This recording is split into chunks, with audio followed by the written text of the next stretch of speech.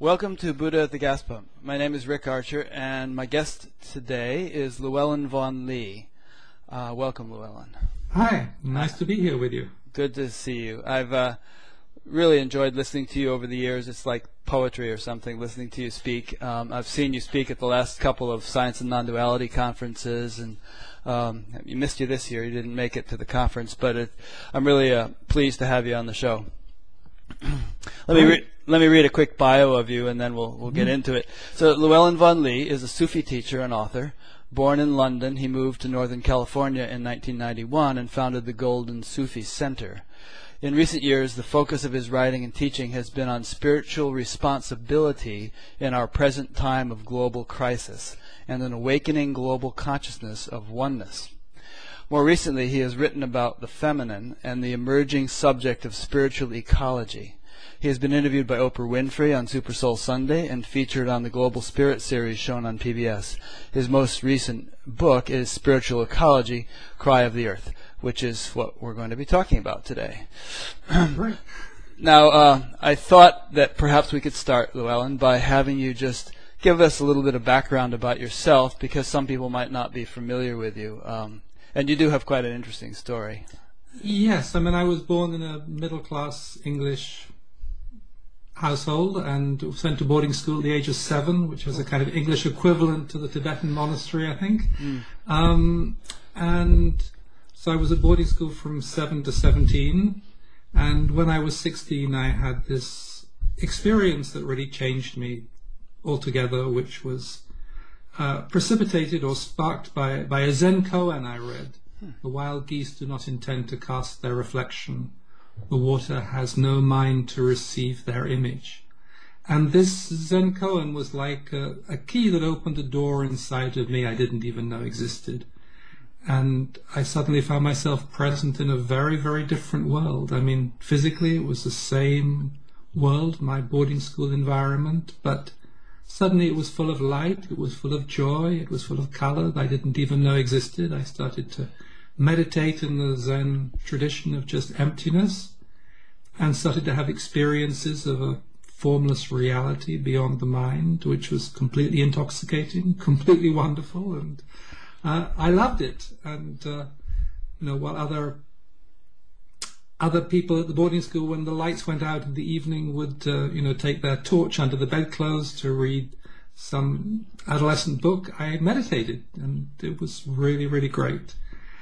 And this, I left boarding school. I continued with this practice, but then there came a time when, when I was 18, and I began to realize that I needed to find a teacher. I couldn't go further in the meditation on my own, and this was, of course, the age before internet, before really even many workshops or anything. Spiritual things were very secretive, and um, so you had to wait. And, but I met these people who belonged to a, um, a very secretive meditation group, and they invited me to a esoteric talk on mathematics at the Kensington Library in London. And I went there and found myself sitting behind a white-haired old lady with her hair tied up in a bun. And after the talk, we were introduced in the aisle of the lecture theatre, and uh, I just had this experience, a really very visceral, physical experience of becoming a speck of dust on the floor. She had these amazing, amazing blue eyes, and she gave me one look from these blue eyes, and I became just a speck of dust upon the floor. I had no idea what it meant. It wasn't, oh, for like six years later, I came across this Persian saying that the the disciple has to become less than the dust at the feet of the teacher. This ancient tradition of the annihilation of the false self, of the ego, so that one can experience reality or truth or one's real nature, however you call it. But at that time, I had no awareness or understanding of what it might mean. I practiced hatha yoga, or I'd read some books on Taoism, which interested me, but I didn't know much about anything else. And uh, but then she invited me to her small meditation group. There were about eight of us at the time, in a very small English bed sitting room, what in America is eloquently referred to as a studio apartment, but there was not much of a studio space there. It was, you know, eight foot by ten foot, and there was so little space that Mrs. Tweedie would sit under the sink while we meditated. There was a, a bed and a chest of drawers and a and a sink. And this is the Um, first time you mentioned her name, by the way, Mrs. Ah, yes. I- Irina Tweedie was her, Yes, This- this, this is. Uh, who wrote Daughter of Fire, right? Yes, this was before the, the book had come out, and it was a very small group of us. She came back from, so this was in the early 70s, and she came back from India in 66, um, Mrs. Tweedie, as she liked to be called, when a teacher whom she referred to as Bhai Sahib, who was an Indian Sufi master, when he passed on, and he wanted her to bring the teachings of this particular Sufi lineage to the West, so she came back to the West and started a very small meditation group. And later her book came out first in its edited version, Chasm of Fire, and then in 87 in California in, as a full version, Daughter of Fire. Um, but at that time she was very unknown. She lectured a little at the Theosophical Society. And she was in her 60s then, and we were a group of um, artists and students in our 20s, so there was a big age group. There were a few older people she used to refer to as the golden oldies, and we were the spring fevers. and uh, and that was where where it began. So I really just sat there for um, you know week after week, month after month, year after year. I met my wife Annette there, and then when I was 26, our little uh, apartment was getting too small, and I'd inherited some money, so I bought a house, and we lived upstairs, and she and the group lived downstairs, which is another form of uh, spiritual training to live upstairs above your teacher and all the people who came every day. And then slowly she became better known, and then she was when I was. Uh, when I was about 30, she, I was sitting in her kitchen one afternoon and she said, at that time I was an English high school teacher. I taught Shakespeare and poetry. And I thought that was going to be my profession as an English high school teacher. And uh, one day when I was about 30, she passed by in the kitchen and said, you know, when you're 36, your life will change altogether. And I had absolutely no idea what she meant. But when I was 36, she sent me to lecture in America. She was too old to travel anymore. She had glaucoma and she couldn't travel. She'd uh, been there in 87, 85 and 87. She'd come to the Bay Area and um, and that's where it began. I spent three years traveling around America, lecturing mainly to Jungian associations at the time. I'd done a PhD on Jungian psychology and Shakespeare and talked about Jungian dream work and Sufism.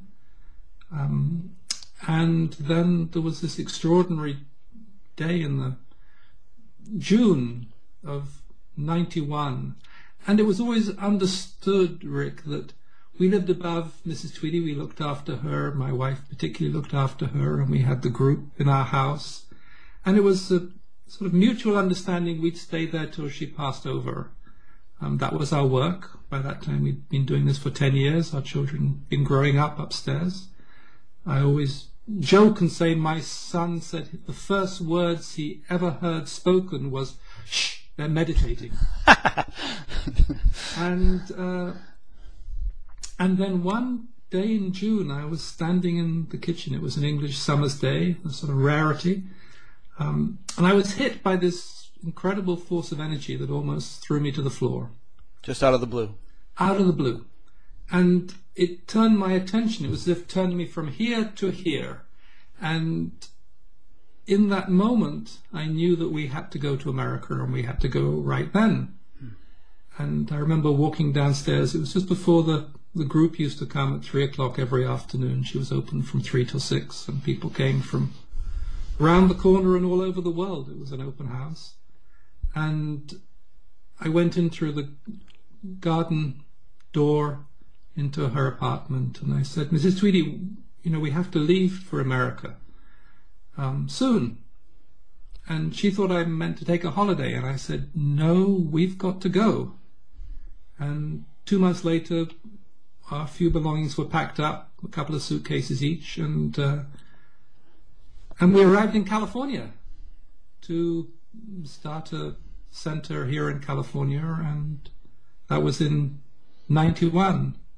And America at that time was tremendously exciting spiritually, particularly California. It was where everything was happening and and there was this light, there was this sparkle in, in, in the air, and it really it was really a wonderful place to be. And there was a spiritual freedom here that I loved. I, it was um, it was a, a wonderful place to come, and I used to spend you know a couple of months a year. I would travel around America lecturing, creating small groups over America, and it was really, really exciting. And that was, in a way, the next stage of my spiritual journey. I still went back to Europe a couple of times a year and sat with Mrs. Tweedie and discussed the work in America. But this was where my heart was, and it was, it was a wonderful place to be.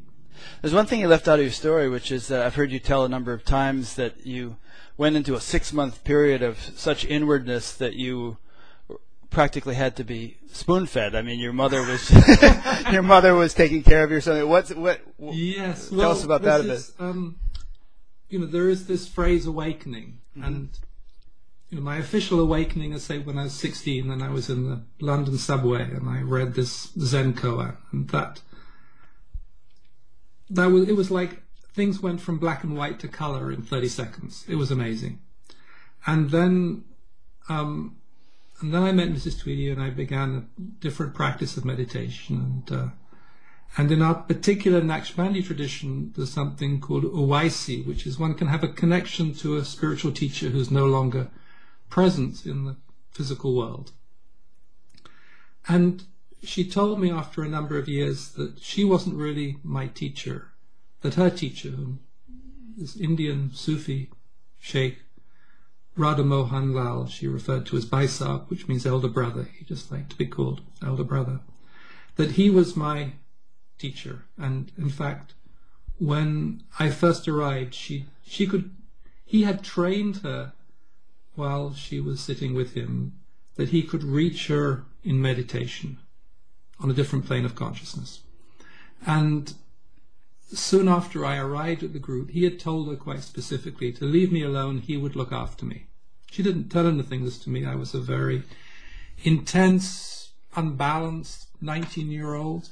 And just to be clear, he had left his body by that time. He was he was communicating this to her from some other level, and she was yeah okay Yeah, he passed on in, in 66, but he trained her that he could reach her from the other side. right And I didn't know anything about this at that time, but there was a very, when I was 23, um, it was a summer, and I was staying in a friend's apartment that looked onto this garden, and I there was nobody there, and it, it was in August. I was a student, an English literature student at the time, and I started to be drawn very, very deep inside of myself complete exclusion. I remember I began that week sanding some bentwood chairs in the garden, and I would just sand these chairs and do the, the zikr, the repetition of the name of God. And but I got drawn deeper and deeper inward until the chairs were left in the garden, and I went inside into this apartment. And and then there was this one day when I was taken into this incredible, incredible pain within my heart and it was like the most painful thing I'd ever experienced. And I was drawn, and I would just go deep into this incredible pain, and I would come out of it. It took as much as I could bear, and this went on for hours. I didn't think one could experience so much pain, just pain in the heart. It was anguish, it was sorrow, it was pure pain. And then suddenly, in a moment, everything changed.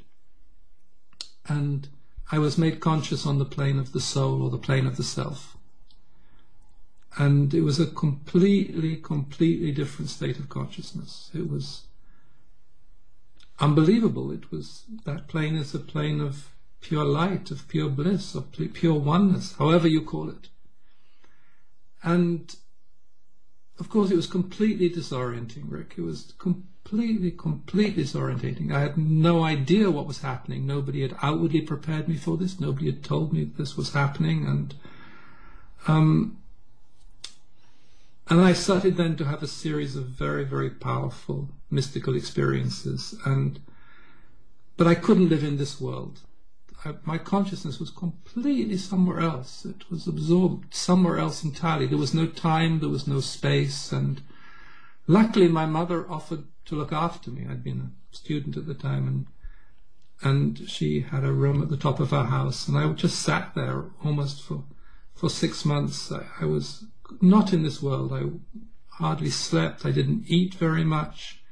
And I was in this timeless space because in that plane of the self there is no there is no time. So I would sit all day in the same place. There is no space. So it didn't matter if I was here or there or, or anywhere. And there was just incredible states of bliss and other mystical experiences. And gradually I was your was your mother a spiritual person so that she? No, no. I mean, did she make you see doctors, or did she understand that something good was I'd happening? Seen, I'd seen some doctors before, and eventually they, you know, they, they said I was okay. I could go and stay with her, and they tried to give me drugs, but I wasn't very keen on it. No. And um, you know, she'd had a training in Jungian psychology. She'd read mysticism Okay. earlier in her life, so it wasn't. Um, but I was just there. And I'd had this experience in August, and by March I began to come back. And actually, interestingly, I used the work of, works of Charles Dickens, but for three months I, I read nothing but Charles Dickens, um, which kind of. The thing is, what happens in those, I didn't know at the time, but what happens in those experiences, and Mrs. Tweedie wrote a similar description of her own experiences after her teacher died, when she said she was in such a state of oneness that there was no difference between anything. The dog shit on the on the, the road was the most divine thing that existed. The consciousness gets completely absorbed into into oneness. And she actually, after her teacher died, she went to the Gandhi ashram in the Himalayas for six months because the ego has to be reconstellated after that experience. It, it has been a way been shattered into a million pieces. And it's never going to be the same because it is no longer the, the center of one's life. It is no longer the I that rules because it's been absorbed somewhere else. And yet, you cannot live in this world without an ego, without an I. And I know because I've tried. Otherwise, I am you. We are the same person. I am this table. I am the floor. I am the wind. I am the sky. You, you can't make any choices. There is nobody there to choose. How do you know what to have for breakfast? How do you know when to have breakfast? There's a Sanskrit phrase, uh, lesha avidya, it's faint remains of ignorance, and it's said that living is not possible without that. You need that. Yes. You know, otherwise you can't tell your ass from your elbow, as the saying goes. Right, absolutely, completely. So the ego has to get reconstellated around this different center of consciousness, and um, in a way, he, I discovered later, say it was my teacher who was no longer physically present. He'd he'd made me conscious on the plane of the soul, on the plane of the self, and that consciousness remained. It it wasn't a part. In Sufism, we have two things. One is a state, and the other is a station. A state is something that comes and goes. You have a state of bliss. You have a state of oneness. You have a. It, it is an act of grace, and it can last half an hour. It can last a week, but it's a state. It comes and goes. You can get taken into a state of intoxication, a state of nearness with God, however you like to call it. And then there is what they call a station, which is where you arrived at, and you remain there until you get taken on to the next station. So it's, really it's more of a relate that- stabilized, integrated sort of thing, a Yes, station. as Yeah. much as it as much as it can be, because Right. certain mystical states can never be completely stabilized. Mm-hmm. And I remained there really for the next um, thirty-five years, and um, and one has to learn how to live from a completely different perspective. You see life very, very differently, and um, you know, for example, I started to have past life memories. The whole world, my whole life was completely different. But I had also to come back down to earth, go back to college, get my degree, Um, I then got married. I had young children to run a household. All of those very grounding experiences. But that was really the, you know, when I was 16, I was woken up, but then there was no context, there was no container for that. And I think this is something that's maybe not so well understood in the West. You can have a spiritual awakening, which is fine, but unless there's a context, unless there's a container, what in Sufism you know we call a tradition, um, then it's very easily gets dissipated. You get confused. You get unbalanced. By the time I came to um, Irina Tweedie when I was 19, I was very confused and very unbalanced, and mm. um, and she created a container for me to have a, a deeper awakening, a deeper inner experience, and then again there was a container, there was a tradition of how to ground that. And later, years later, when I started lecturing in America and I started reading Sufism, because at that time, firstly, there weren't any Sufi books if you didn't read Persian or Arabic, which I didn't. There were very few. Rumi hadn't been translated except by Nicholson, which is a very academic translation. I discovered later this Sufi phrase from one of the very early Sufis, Junaid, who lived in Baghdad. He calls abiding after passing away. Hmm. And there is this, you get taken out of yourself, out of the ego, out of everything that is familiar, and then you get to a place where you can live from it, which is abiding. So you you find a certain grounding, not grounding in the ego, not um, but you have become grounded enough so you can have a life. Because Sufism in Sufism we we have to live in the world, we have families, we have jobs, we have professions. Mm. That's um, great. reminds me of the Zen ox herding pictures, you know, where at some yes. point everything disappears and then eventually he's back in the marketplace. Back in the marketplace. Carrying his. becomes enlightened around him. I wish it was so, so easy. Yeah. Well, this, thank you for that. Um, I'm sure we could, each one, many points you made could be a springboard for a whole conversation, but we want to turn our attention to mm-hmm. spirit, spiritual ecology. And, uh, in the introduction of that I read, um, you mentioned that in recent years your focus has been on spiritual responsibility in our present mm-hmm. time of global crisis, and uh, and that's nice because a lot of times when people are focused on spirituality, they they are so to the exclusion of worldly concerns and environmental concerns and social ethical, you know, so-called gross mundane illusory issues. and uh, not only yourself, but a number of spiritual people or uh, teachers uh, have kind of begun to come full circle mm-hmm. and realize that it's not enough to just marinate in one's own inner experience that they're that they have a, a, a responsibility or a role to play mm-hmm. and in bringing that inner awakening to bear on issues that concern the whole humanity. Uh, and there's a number of beautiful essays in this book. I should mention Llewellyn didn't write this whole book. He wrote one of the essays. It's a compilation of essays from a, a number of different writers. And uh, Llewellyn was the editor and, and compiler of it.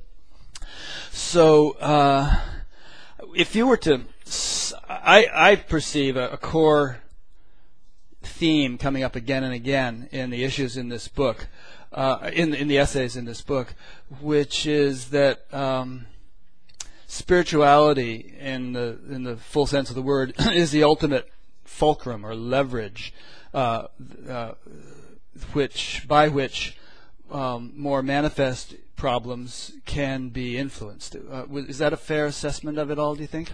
Or to take it the other way, at the moment we are living in a state of global imbalance. Correct we are destroying our own ecosystem at an alarming rate, whether you call it climate change, pollution, species depletion, however you call it. And I was drawn inwardly to find out what is the root of this imbalance. What is the, how did we get into this extraordinarily devastating state?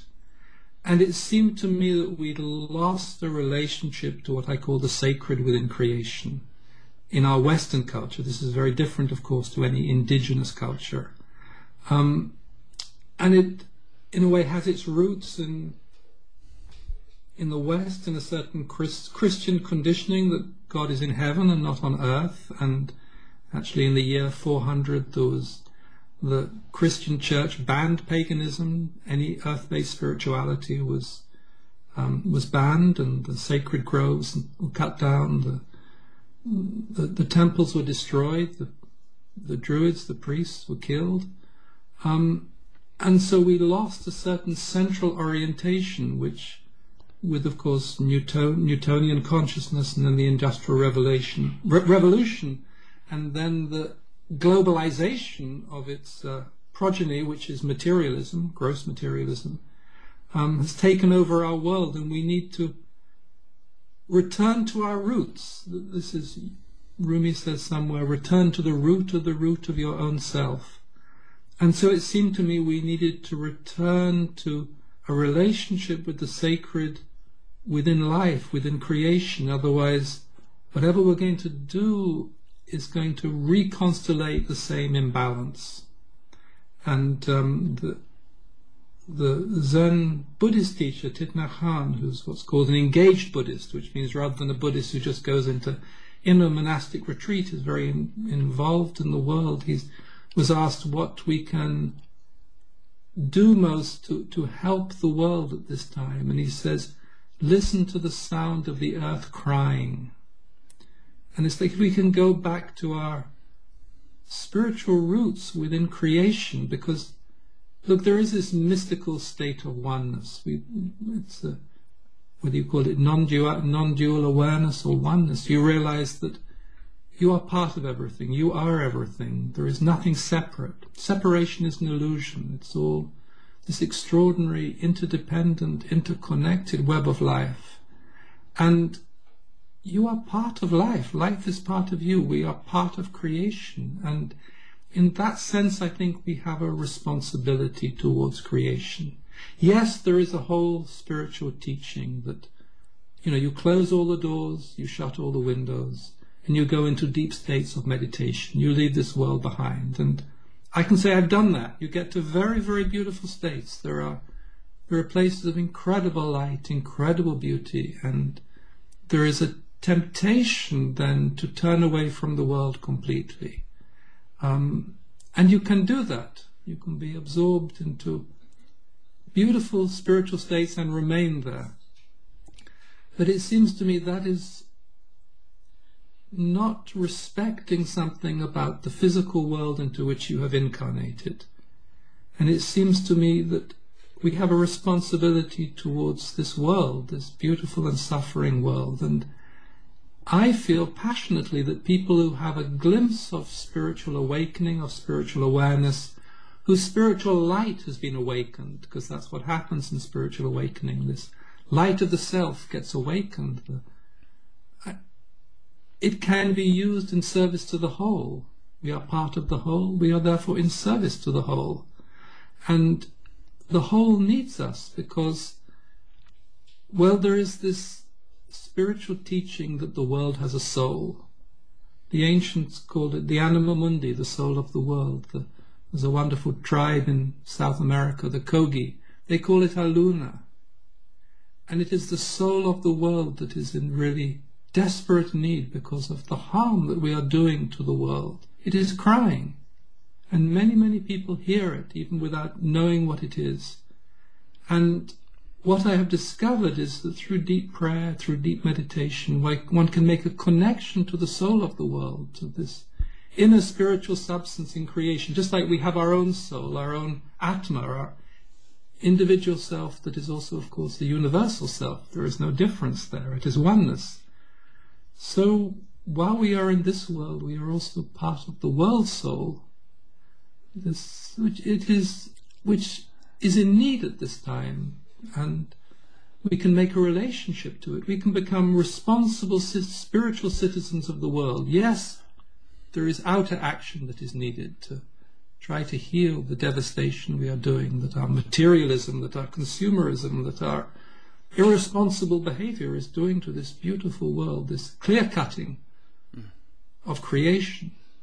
But there is also an inner, and, and I don't know whether this is the right time to go into it, Rick, but what I find interesting or sad or even painful is that in the West we have now been given a certain spiritual awareness.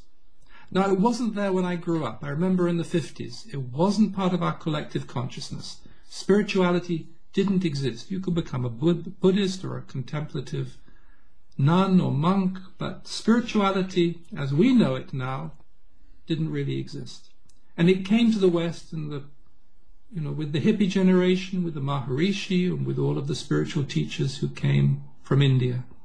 And we began to have access to the, the light of our own soul, to this incredibly beautiful spiritual self that we all have.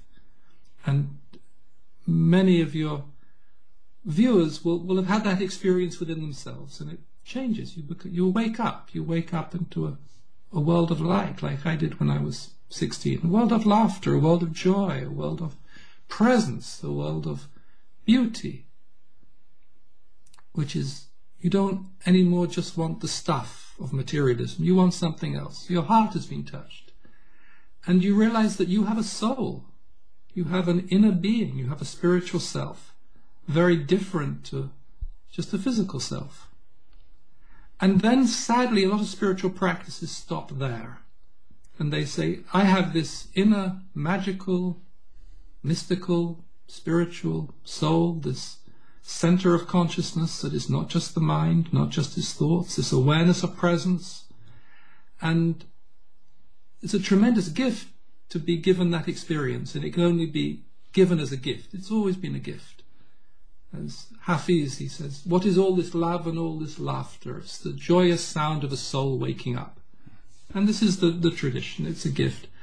And then people stop there and and they stay with it, which is which is fine, but there is always more, there is always a next step on the journey.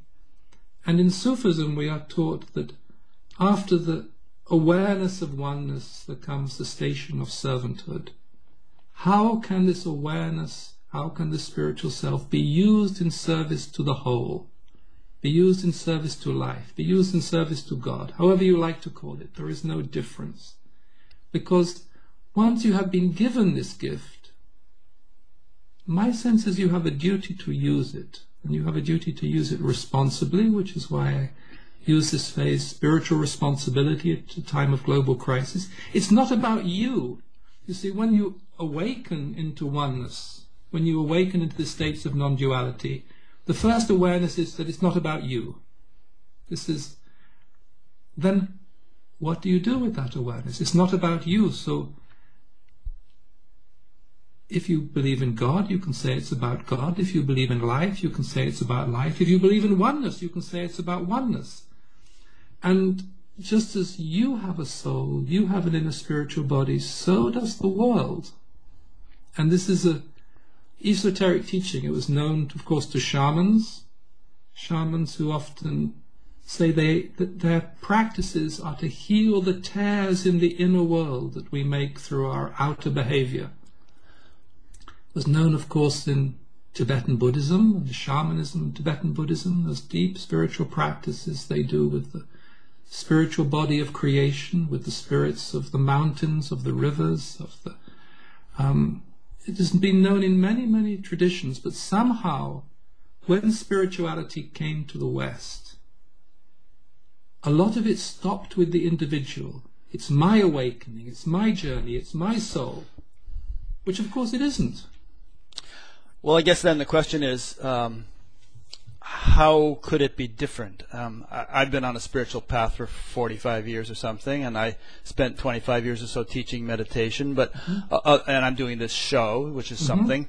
But uh, but basically, uh, um, you know, other than recycling and uh, you know, few, few little things like that, I'm not doing a heck of a lot to help the environment or the world. I still drive a car and fly on planes and and things. So how does the uh, and you know, most of the this quote unquote spiritual teachers that I know are basically doing spiritual teaching. They sit up in front of groups and they talk. And and so um, and so is the contribution that so-called spiritual people can make largely an, es- an esoteric one, an inner one, where they're just um, kind of enriching the collective consciousness with their awakening awareness and perhaps propagating that awareness to others who can then in turn enrich it? Or is there something even more concrete and manifest that one Well- can do aside from signing petitions and you know Yeah, I don't think I don't think petitions have much um, much, much clout? awareness. I mean, much Right. help. I think the the global corporations have a firm grip upon the the outer political world. Um, first of all, my sense in the past is that real change, my sense from the past, and also seeing how things are, that real change isn't going to come from big groups, but from small groups of people. It is like an organic structure of life. I believe very much in life. I believe very much that there is a wisdom within the planet itself and that we are part of the organic structure of life. The, the difference is, is that people who have a spiritual awareness, there's a spark of divine consciousness in their cellular structure. And first of all, I think it is necessary to recognize the world is in trouble. The world is suffering and we have a responsibility towards it. That's the, the first step that takes us out of me towards we, that takes us out of our own awakening, our own spiritual practice into an awareness of the whole. And then there is the need to to listen. That's why Nhat Hanh says, to hear the sound of the earth crying. We are so caught up in doing. We need to listen. We need to be attentive. And the Sufis have what they call the listening of the heart. They see with the eye of the heart, they listen with the heart. And you listen within yourself. And then there will be a response. Because we are connected to the earth. It is not something separate. We are not a strange alien species that has been left here for a short while to go on to planet Xeron or somewhere afterwards. We are part of the earth. Our spiritual body is part of the earth, and we are needed by the earth. And I say this is what was always understood. The Tibetan Buddhism is very deeply rooted in the magic of creation. Um, just like Zen Buddhism and Taoism, very deeply rooted in creation. You just have to read Zen poetry or Taoist poetry. The, the wisdom of the Tao is so um, is deeply rooted in the patterns of creation, and we have to re-establish this connection that we have within ourselves and the soul of the world and the spiritual body of the world, and we have to feel it. We have to make a relationship with it. This is part of the wisdom of the feminine.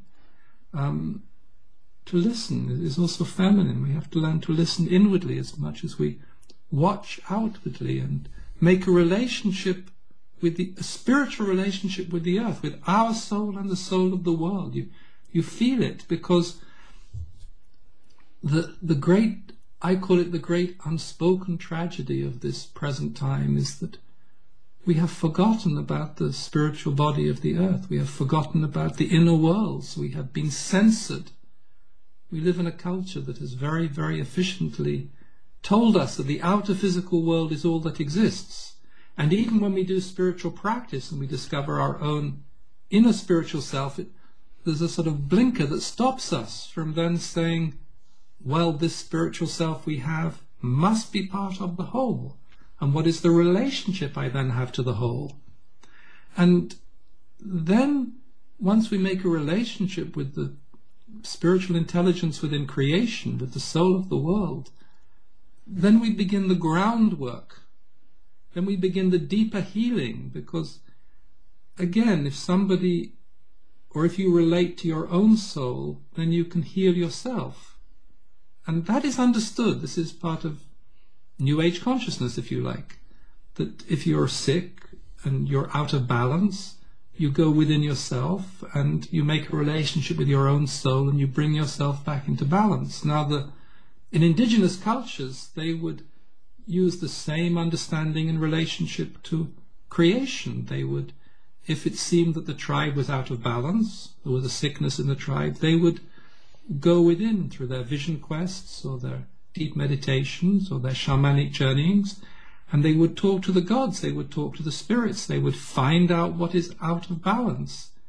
And we need to do that because all of the technological innovations are not going to save our present situation. All of the recycling has gone too far. We've we're either one minute to midnight or already past the tipping point. And those of us who have a who have been awakened, who have had a glimpse of a different consciousness that is not just a physical consciousness, I feel we have a responsibility to, in a way, create the inner stepping stones to a, a really sustainable, holistic life, because sustainability for me is not just the sustainability of our present civilization, which I think is, you know, is living in a psychotic way, but is the sustainability of all of creation. Why are human beings allowed to dominate? Surely, if we believe in oneness, then sustainability is about the sustainability of the whole. And then we start to bring things back into balance, and then we start to work together with creation from a spiritual point of view. And then maybe healing can be given because, as far as I understand, the earth is very magical, is very mysterious. At this point in the interview, Skype quit unexpectedly. I restarted it, reconnected, and resumed the interview, unaware of the fact that the audio on my side was no longer recording. So for the rest of this interview, you're just going to hear Llewellyn's remarks, except for a couple of points at which I recorded an approximation of the question I had asked him to put his remarks in context. What, I, what, what I'm saying is that when you are when you've had an awakening, when this light of the self has been woken up, when you're aware of your soul, that you have a spiritual responsibility to the spiritual body of creation. Just like you make a relationship with your own soul, you should make a relationship to what is sacred within creation. And this, well, this is, again, first of all, I would say that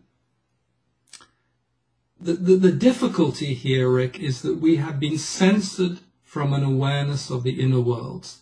That, for example, indigenous cultures have, and for example, they have in Tibetan Buddhism, many different, they're aware of many different inner worlds. And somehow, um, we have been in the West, our rational mind, our rational education, and our whole present civilization has censored us from an awareness of the inner worlds. For example, in the in the medieval time, they saw human beings as part of the great chain of creation, the great chain of being, it was called, that went all through all the angelic worlds, and humanity was just one part of this great chain.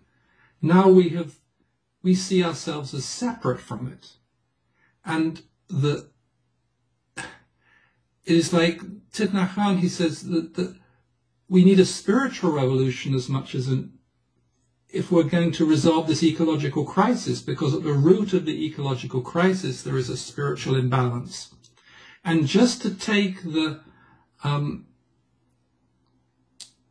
okay, I, I can give you another example. If you, I work with human beings, I'm a spiritual teacher, and there is a way that you can change, or the human being spiritual body can be changed so that their whole life then changes.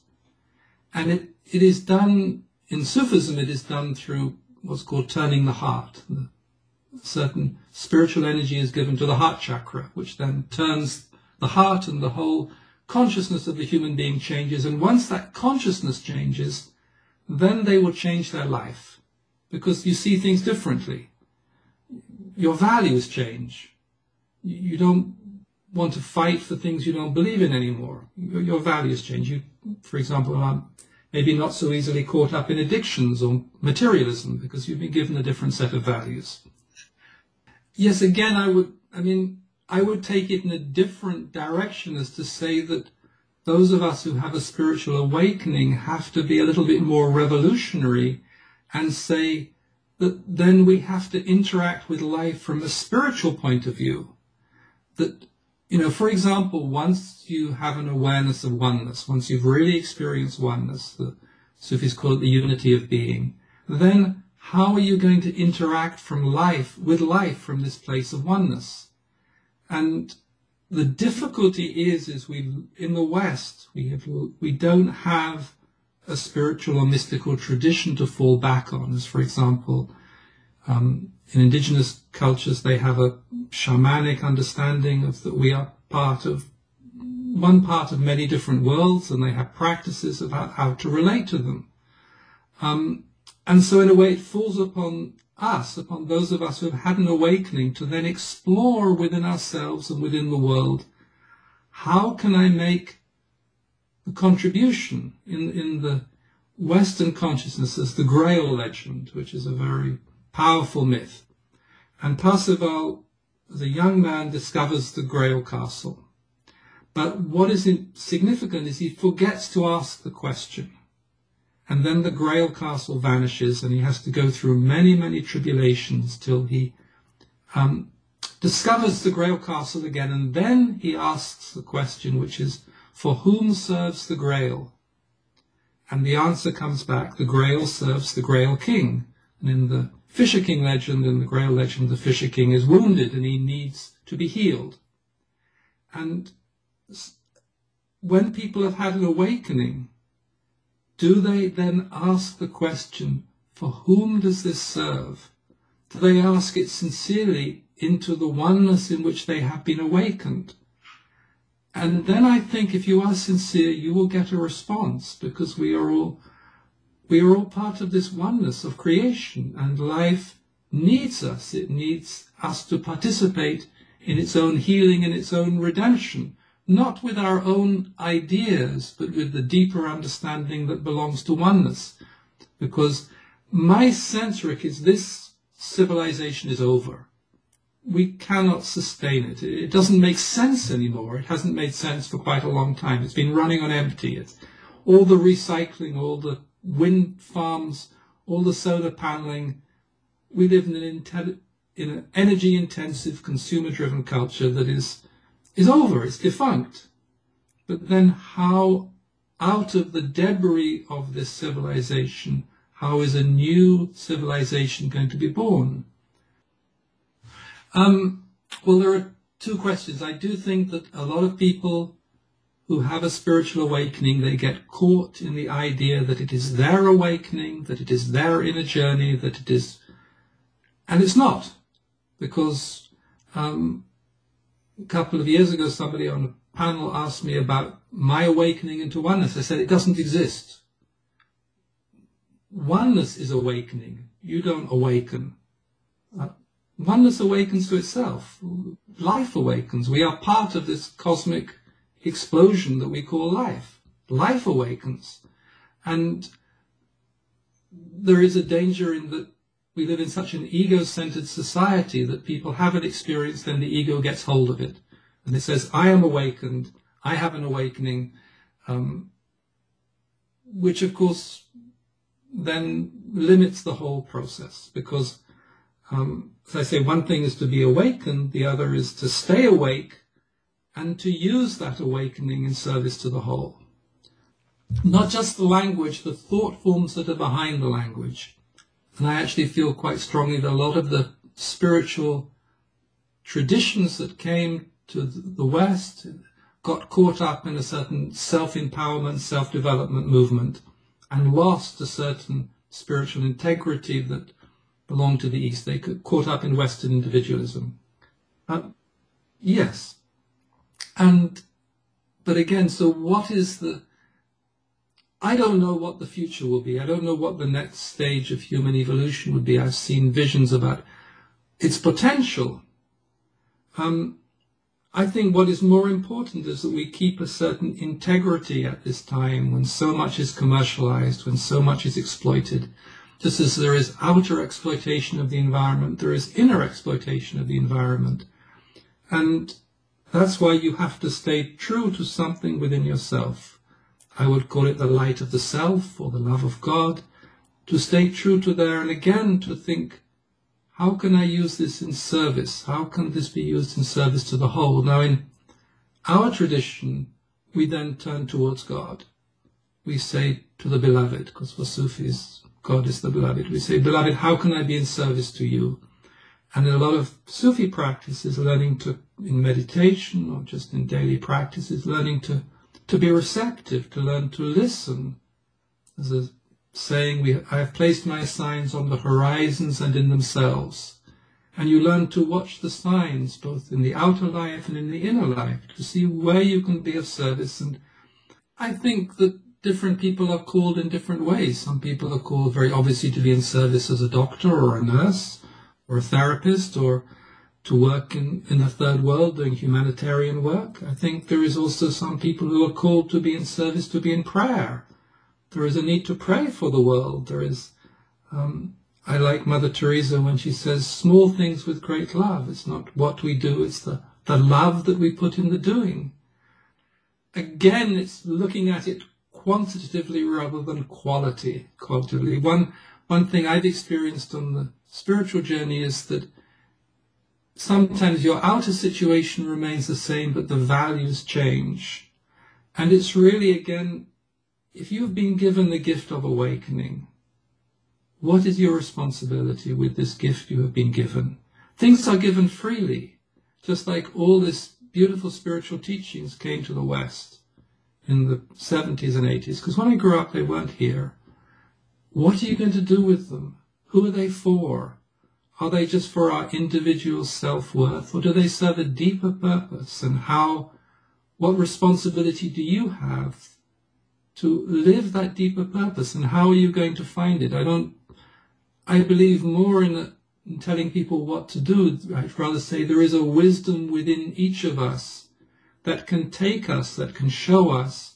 The work you do, for example, is to do this Buddha at the gas pump. The work I do is to have a meditation group. What somebody else does maybe to, to help with deforestation somewhere and to, or to help the regeneration of the ecosystem. Um, again, what matters is the attitude that we bring to it. Do we do it out of an ego-centered attitude or are we really in service? Are our hearts open? Or from another point of view, are we prepared to give it all up at a moment's notice if the inner prompting comes, if something says you are now needed over here, or you now need to do this, or um, it is that certain freedom of spirit. But behind it all, we are, look, oneness, non-duality, it means we are all together. Nothing is separate. Nobody has their own journey. It doesn't exist. We're all part of this extraordinary story of creation while we are in this world, while we have a physical body. And we are all together in this. And some of us have been graced with an awareness of the light of the self. It's very beautiful. If I, as I told you, when I was 23, I was woken up so I could see it. I see it in a human being. I see that light. I know how precious it is. And how are we going to use it? What is our relationship to it? Are we going to be in service to it? And are we going to really live it in, in the deepest, most compassionate way we can? And then I think you will find that there are these groups of people around the world who are not necessarily big groups, small groups of people who are inwardly connected through the links of oneness, through the in a way, this organic web of light throughout the world, and um, that enables us to have this conversation. That enables us. To, we share certain values. They are not religious values. They, they are deeply human values. Whether it's compassion, loving kindness, understanding, and out of that, I think a new era will be born. Out of those deep human spiritual values that are, are a birthright and if we can live from there, in whatever form they take, the form doesn't matter. At the moment we are just surrounded by this debris of a dying civilization with its malls, with its, its ridiculous patterns of behavior that have I always think, are human beings really meant to spend eight hours a day watching a computer screen? No. Even if they're valuable for exchanges like this. We are these we, we are made of stardust. We, we are here for just a few short years. What are we going to do with this experience? And how are we going to give our light back to life, that, back to the soul of life that needs it at this time because so much damage is being done? I know you appreciate that there are many levels of creation, not just the gross material world as people commonly perceive it, and the transcendental field of pure consciousness, but also many relative strata inhabited by subtle beings such as angels, devas, elementals, and the like. I don't perceive these myself, but I have friends who perceive them routinely and see many of them helping human beings in mysterious ways. Since the relative world is composed of polarities, there are also subtle beings which apparently don't have our best interests in mind. Would you say that the opposing influences we see displayed in the world, forces of good and evil to put it simply, are symptomatic of these more subtle beings engaging in some sort of cosmic struggle? Wow, that's a very big question. Need another hour to answer that. Yes, I agree there are multiple levels of reality. And until our present civilization, this was always understood.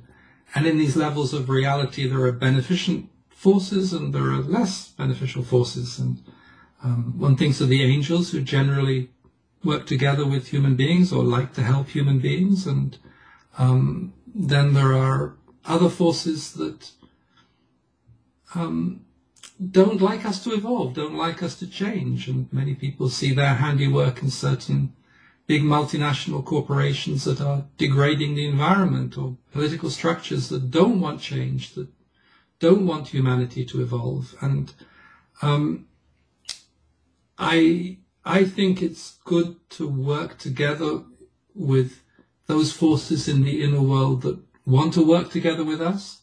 In the same way as uh, something Mrs. Tweedie explained to me years ago, there are some trees that don't like people, and there are some trees that like people and you learn to, if you like to talk to trees, to be with the trees that like people and they can help you and they can, for example, absorb, absorb sickness from human beings and transmute it and to keep away from trees that don't like it. I think, again, if you ask with a sincerity of heart, look, the Sufis say, for example, that you can't go towards the truth without help from the other side. If you take one step towards him, he takes ten towards you.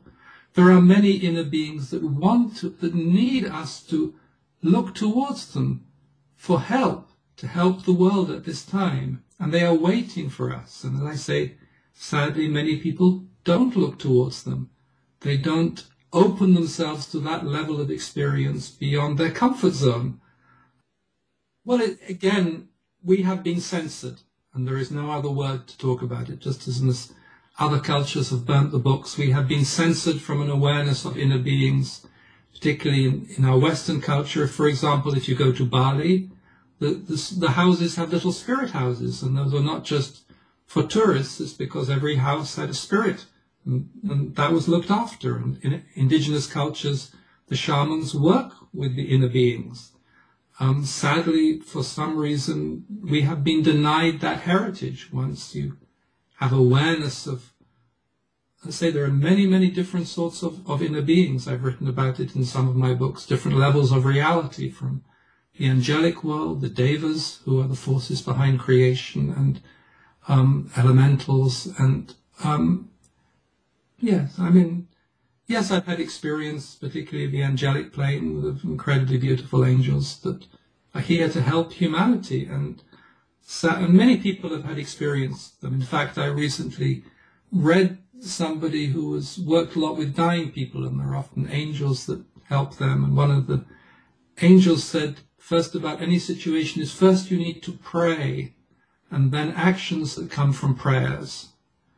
Um, in the in the Bible, there's this beautiful image, Jacob's ladder, of the angels ascending and descending from heaven to, to humanity.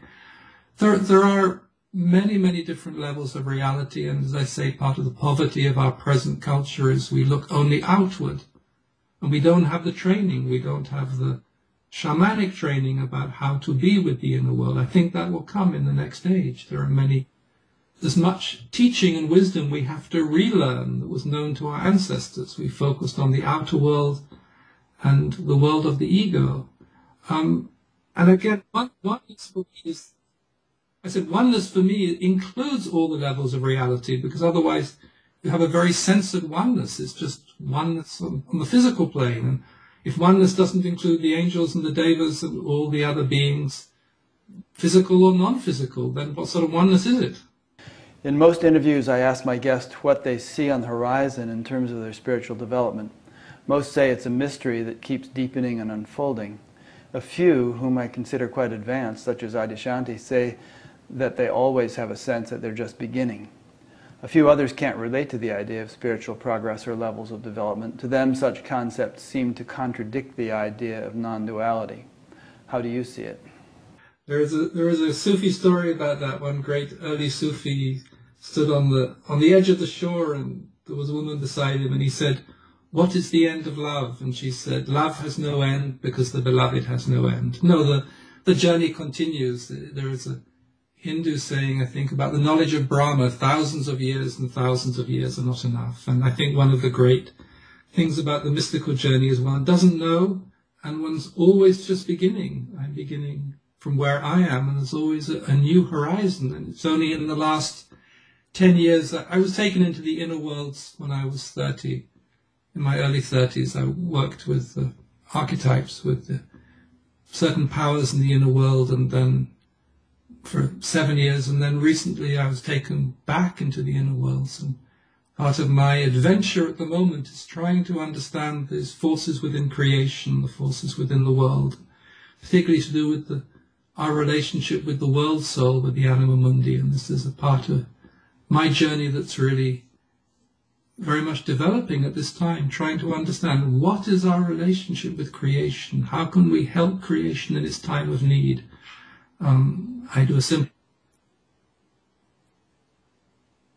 Um, well, that there is a need, and I do a simple. I teach a simple prayer for the earth, in which one puts the earth as a living being into one's heart in one's meditation, and and offers it to God or to the beloved or to the oneness. Um, and I think this is the, for me, this is the, the frontiers that need to be explored spiritually because um, it is like the return. We spiritually you, you realize this inner state and then how can you bring it back into your life, into your inner life? And, and this is very, very important, Rick, if we are talking about oneness, then our inner life has to include the inner life of the whole. There can't be my inner life separate from the inner life of creation. And I think we have to rediscover what that means. We have to reclaim our spiritual heritage. We have to go to the center of the maze. And in the, in the Chartres Cathedral, when you walk to the center of the maze, then you turn around and there is the rose window reflecting right into your heart. We have to rediscover our love for creation and what this means for creation, not just for us. We've become very self-centered in our spirituality and we are part of something much bigger than we realize. And I think we need to be able to embrace that. At least I try to, to um, always, you know, at the end of the day, I, I go into prayer and I say, you know, beloved, how can I be of service more? How can I be of more use to you? Where, where do you want me? Where do you need my attention? And to make this relationship, because it's the relationship that's got broken. And the, the beloved includes life, creation. It's not separate. It's the Sufis talk about intimacy, that he is nearer to you than your very neck vein, or the beloved is nearer to you your neck vein. He's closer to you than yourself to yourself, Rumi says. And how can we bring back that spiritual intimacy into our life and into the life of the planet? Then, then I think something can happen. Then I think we can you see, what matters to me is somewhere that we work together. In this moment, you and I, there is a connection. And when people view your programs, there is a connection. And out of that connection, something can be born. This is a, a network of light around the planet. And here, modern technology can help us because the internet and Skype make this available um, all around the world. And we are, we are all around the world. There is no separation. I remember actually seeing that when I was 17. I was traveling in the Philippines, and it was the beginning of the hippie time, and and I met people, and there was this connection because we were part of something that was beginning. And I still feel it now, and I think it's very important. And how can we be of service to each other and to the whole? So, thank you for watching this somewhat um, disjointed interview. We had a few technical problems. Um, I've been wanting to interview Llewellyn for a long time. I have great respect for him, and I will certainly be interviewing him in the future. In fact, he just sent me another one of his books, which I'll read, and we'll have a discussion about that. But for those who've been listening or watching, you've been, this interview has been part of an ongoing series um, where you, are over 200 interviews now, more to come. You can find them all archived at Buddha at the Gas Pump, which is batgap.com. There you'll find both an alphabetical and a chronological list of all the interviews I've done so far. You'll also find a discussion group, and each interview has its own page in that discussion group, its own section. Feel free to join in. There's a link to an audio podcast in case you'd like to subscribe to this in iTunes and not have to sit in front of your computer to watch it. There is a donate button, which I appreciate people clicking if they feel motivated to do so. And there is a place to sign up to be notified by email each time uh, a new interview is posted. So again, thanks for listening or watching, and we'll see you next week.